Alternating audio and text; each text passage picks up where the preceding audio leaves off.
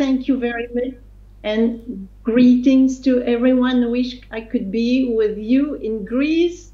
The accent is perfect. And uh, perhaps just a couple of words on the IPBES before uh, I address the, the topics of, of today. So, uh, IPBES is a science policy mechanism. It is the intergovernmental uh, mechanism for the interface between science and policy for biodiversity. So I'm sure that everyone in the room will be familiar with IPCC. And so IPBES, if you will, is the equivalent of uh, IPCC for uh, biodiversity. And so our work is to provide scientific information as a basis for decision uh, making for governments, for uh, all other stakeholders. In particular, now we are busy with preparing for the COP 15 of the Convention on Biological Diversity, which is starting a week from now. Very high stake for that COP since uh, it's a whole new global biodiversity framework which will be uh, negotiated uh, next week.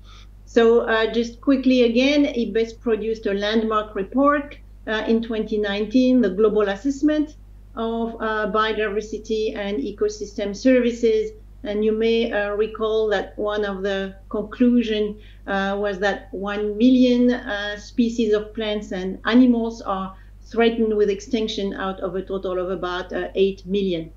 And uh, we care about that for a diversity of reasons. One of them is that it is affecting uh, the capacity of ecosystems to function and to provide a number of contributions such as the capacity to control the emergence of diseases. We'll speak about that a bit more, but also the capacity to mitigate against climate change, to provide pollinators for crops, or to provide uh, enough fresh water of a good uh, quality.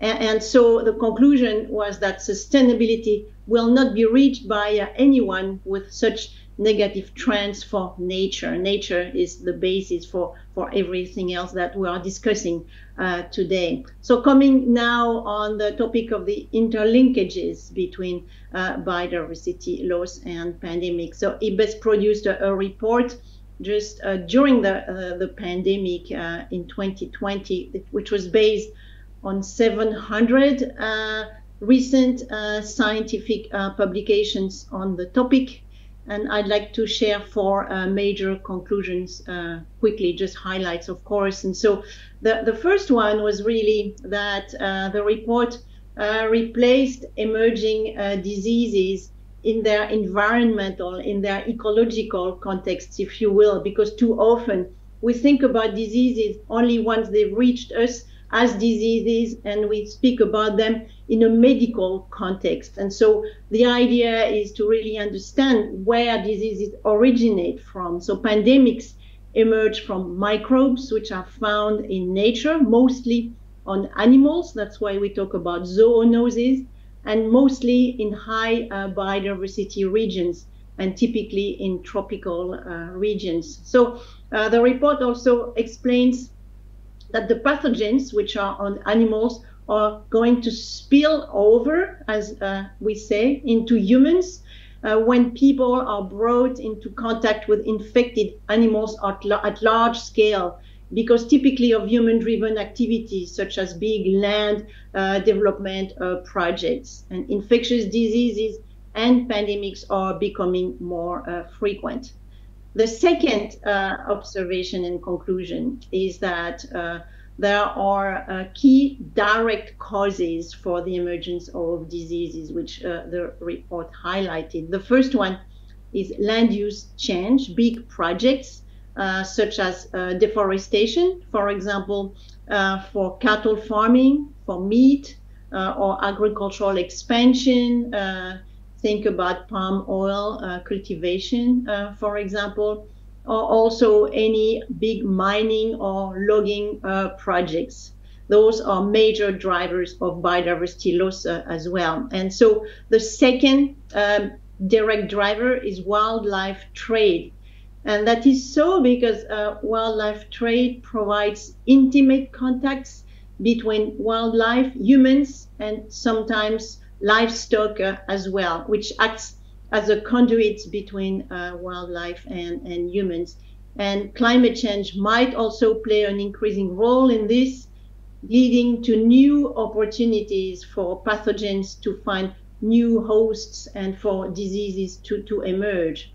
The third conclusion is that there are direct causes, of course, but these are based on uh, what is called underlying causes. And that, of course, relates to what people do, the decisions they make. And in particular, this relates to consumption uh, patterns. Uh, this is uh, the consumption of meat, for example, which drives part of uh, deforestation, or the demand for pet, uh, for food, for medicine, for fur, uh, which uh, drives the wildlife trade. So now in terms of uh, options uh, for action and, and to conclude, one of the main conclusion was that there could be a new way to deal with pandemics, which would be based on preventing their emergence, the emergence of diseases through an ecological approach as a complement, of course, to the current medical approach. So we need to complement the medical approach by an ecological approach to control the prevention by much better understanding how diseases emerge uh, from the uh, environment. And to do this, to do this, uh, of course, more work needs to be done on microbial diversity in wildlife, and in particular on putting in place monitoring system. We know how to do that, but that needs to be really uh, deployed, in particular to detect hotspots of emergence so that we could, for example, inform uh, areas uh, where uh, which are hotspots and where projects should probably uh, not take place in terms of major land use projects. And, and another interesting conclusion was that new institutional bridges need to be built between uh, different communities uh, who have so far uh, not worked uh, together. And these are uh, the medical community on one hand with the veterinarian community that need to start working with people who are in the business of uh, conserving nature, protecting, managing uh, nature, typically people who work in forestry or in conservation uh, communities. These bridges are, bridges are meant to really become better uh, equipped to prevent the future emergencies, and this is what is typically referred to as, as One Health. So I hope that in these few minutes I, I have given some a flavor of some of the uh, issues that are currently uh, discussed uh, in this community in particular under the One Health approach. Thank you for your attention and over to you.